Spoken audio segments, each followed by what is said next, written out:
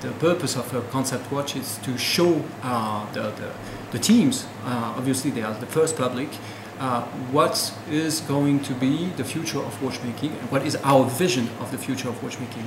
And in the particular case of ID2, the idea was to, to tackle the, the, the trouble and the problem of efficiency because all the mechanical watches in the world are not efficient at all. Almost three quarter of uh, the energy that is stored in a mechanical watch is simply lost. So we wanted to find ways in order to make a better use of uh, the energy.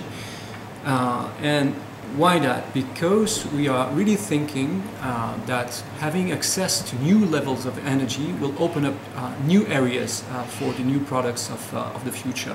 You can dream of having miniaturization because you have you have more energy so you can have the, the same performance but with less volume. Or you can have more power reserve with the same uh, volume like always.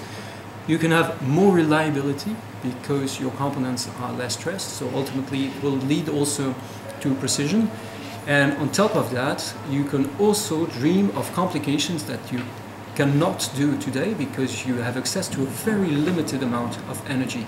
So if you are talking about jumping stuff or things like that, sometimes it's a bit difficult to, to do. And here uh, we can dream of that sort of things. But it will be obviously in the future. The purpose of this concept watch is to show the direction.